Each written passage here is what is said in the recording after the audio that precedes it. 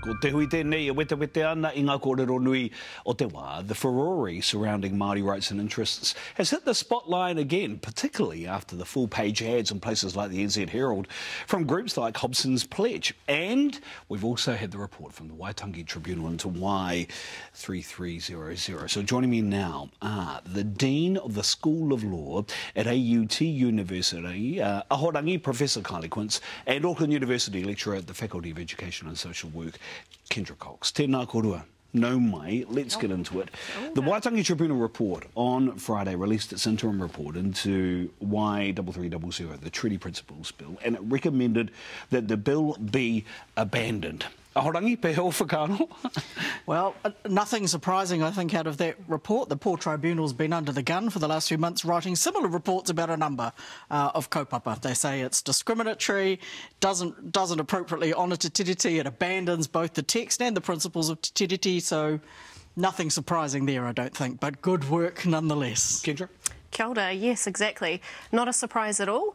Um, one thing that came through really, really strongly in the interim report um, was the Waitangi Tribunal saying that this is only a political and ideological attack on Te Tiriti o Waitangi and on Te Ao Māori generally. This is not based on evidence, much like every other, you know, kind of reform policy, legislative reform that this government has tried to ram through very quickly under urgency, and it's purely political. What do you think will happen next? I mean, do we think that the government might pay a little attention to the recommendations in this report, Ahorangi, or will it just carry on? Well, I mean, politically, we know that uh, the Prime Minister has already said that uh, neither he nor New Zealand First are, are, committed to supporting the bill past its first reading. This is purely part of a coalition agreement. But of course, this is this does provide an opportunity for Prime Minister Chris Luxon to show some leadership and actually show some commitment to Te Tiriti by withdrawing the bill before it gets to the first reading don't, don't, forget, John Key said at the National Party uh, conference a couple of weeks ago that actually they need to pull their heads in. They need yeah. to show some commitment to Māori and Te Tiriti. Do we think that'll happen, Kendra? Or do you think that we'll still get the first reading of this bill and then after that New Zealand First, as the Ahorangi said, New Zealand First and National will just pull away? Kia ora. I think at this stage it would be a surprise if the government would be were to pull back, you know, from this trajectory that they've set themselves on. And the reason I say that is because of, you know, the way that they've treated the fast track bill, mm. the um, potential repeal of Section 7AA of the Oranga Tamariki legislation, and every other kind of anti-Māori, anti-te tiriti policy change that they've tried to push through. Mm. However, as they're well aware, they're going to be met, you know, with kaha Māori, with mana Māori, um, if they do push forward with this. Yeah, and I think the Koroneihana Rahui Papa got up and said, we reserve the right to fight mm. and will continue to activate and things like that. David Seymour says he welcomes the report quote unquote, welcomes the report and says we need the national conversation about the treaty. What do you think he means and how will Māori react to that kind of national conversation that he talks about? Oh, well, which conversations he's talking about? He's, invi- he's been invited to, he was invited to Koroneihana, was a no-show. Mm-hmm. You know, he's been invited to other hui Māori and has not engaged in a conversation. So what we do know is what's, what those words on paper are. And those words on paper is a dra- that the ACT Party's draft of the Treaty Principles Bill doesn't reference Māori at all, mm. which is clearly not what our tupuna signed up for. Yeah, mm. and do, do you think Chris Luxon will, will pay heed or take note of what the former Prime Minister, you know, John Key said about trying to tone the racial issues, particularly around Māori relations, down? He would be unwise not to. He would be unwise given the trajectory of that government. He wants to be a two-term government, clearly, mm. but he's heading on a, on a, path where that may not be possible. The Tribunal report, Kendra, also recommended that the Crown should constitute a Cabinet Māori Crown Relations Committee that has oversight of the Crown's Te Tiriti Treaty policies. Now, interestingly, the Te Minister, mm-hmm. Tama Potaka, has announced that he's looking at some changes mm-hmm. at Te. Can we take from that that I think he will probably take that recommendation lightly, do you think? Mm. What is motivating this change, do you think, that Tama Potaka is? Mm. I think really what's motivating this change, again, you know, is the underlying politics of this coalition government. And as much as Tama Potaka has said, you know, that as um, kind of Minister for Māori Affairs and things like that, he has the interests, best interests of, you know, Te Ao Māori at heart. He's talking about, uh, you know, positive changes apparently that he's trying to make in housing, social services, things like this. We need to look at what this government is actually doing and not only listen to the words that they're saying, because that's where we're going to see what their real intentions are. Do you think he's been forced into this position because of the financial constraints that this government has clearly put on government departments, rationalisation, mm. even retrenchment, some might say? Yep. So we've we've heard there's going to be no funding for uh, you, know, you know, much of the work of Te Arawhiti, mm. so to some extent that has been forced. But I, do, I agree with Kendra. I think much of this is just pure ideology, as many of this government's decisions have been. We don't care really which work stream sits with Te Puni Kōkiri or Te Arawhiti. That just that those things are done. Mm. But um, I would say that this, so this is just an undoing of what former Minister Davis did. And I think that's all there is to it, that mm. it's just undoing what a previous minister has done.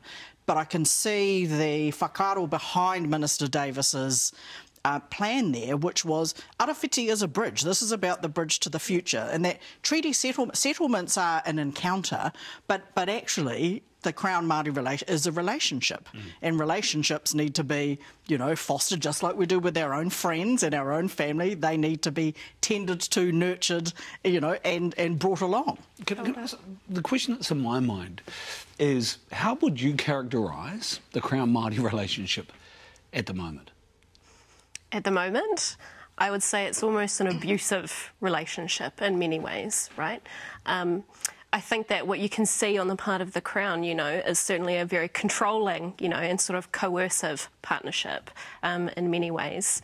Um, we can see through everything that this government has done over the past eight months is the constant attacks and stripping of tino rangatiratanga and any steps towards partner, you know, part, true partnership and power sharing with Māori. Mm. It's interesting you say because, again, at the Koroneihana, Māori were very clear. Tuku Morgan and Rahui Papa said, stop the racist, mm. Māori bashing bills. And I think the tribunal was essentially saying you have a Crown responsibility to talk and engage with Māori. I guess the question then comes is, is that really going to happen? Do you think, in this term of government? Or is the Prime Minister being dragged kicking and screaming into these issues by his coalition partners? Well, today it does seem like they have had. This is the tail wagging the dog that they keep consistently referencing this coalition agreement. Mm. And, and, Prime Minister Luxon repeated at the weekend that perhaps we're in a, a, a compromised position in relation to the treaty principles bill that neither of us are, are happy with. Mm. Well, one of you could just actually show some get out kaha and, yeah. yeah, and exit. Yeah. Okay, I want to talk about Māori wards. Uh, are you surprised by the response of many councils across Aotearoa who've actually been pretty staunch and said there are benefits to Māori wards and the work that we do, we want to keep them? Carl, no, not surprised at all, because many councillors, you know, actually do represent the will of the people um, that they have been elected to represent.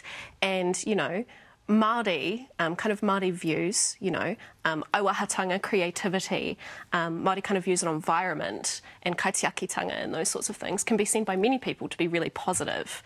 And also, I think that this kind of idea that much of, you know, Te Ao Pākehā, Tauiwi Ma, you know, are racist and are anti-Māori is actually not true. As much as this, you know, many people within this coalition government and other kind of outside political forces and actors want to represent, you know, Te Ao Tauiwi that way. I actually don't think that's the case. There will be local referenda. Mm. Do you think those referenda will uphold the position that many of these councils have about wanting to keep the Māori wards for the benefit of the communities that they serve?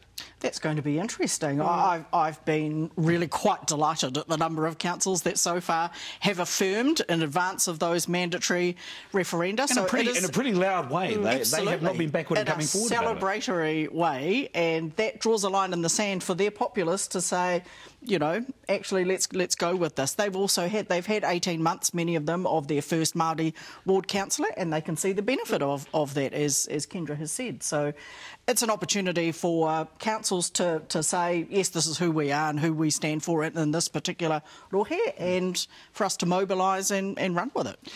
At the risk of many people saying this is a stupid question to ask, Julian, I want to talk about Hobson's pledge. And as many people will know, uh, they had some direct advertising via the New Zealand Herald relating to the Marine and Coastal Area Act. Isn't this just a group expressing their right to free speech? Kendra. In some ways, yes. Right? Sure, everyone has a right to free speech. Um, what you don't have a right to is to have absolutely no pushback, you know, to the things that you say. What you don't have a right to is to not be challenged on the things that you say. And people, um, very rightfully so, you know, have seen that particular ad um, in the Herald and, you know, past campaigns by Hobson's Pledge as well as very, very racist and very clearly anti Māori. Um, and so, yes, sure, they can say those things, but they can't say them and expect absolutely no pushback from Te Ao Māori, especially at a time when Māori feel under attack, you know, and are under attack and the misinformation is the word that everyone uses aye, here. Aye, so oh, there, there, are some. So yes, that they have a right to free speech and to the consequences of that speech, but you do not have the right to spread misinformation, untruths. So there are implications that you know that, that the foreshore is going to be um, that it is in return to public ownership. It was not. In, it's not in public ownership. That Maori are going to limit the rights of non-Maori to access and use of the foreshore and seabed. Again, these are all myths, truths, and misinformation. You cannot do that. Um, this was so good. Can we do this again next week? Sounds good. Let's do it again, Sarah. Come on. Uh, e mihi ana kia kora. Tēnā kora. Thank you so much for your time. I really appreciate you coming. Kia ora. Ngā mihi nui kia kora watahi.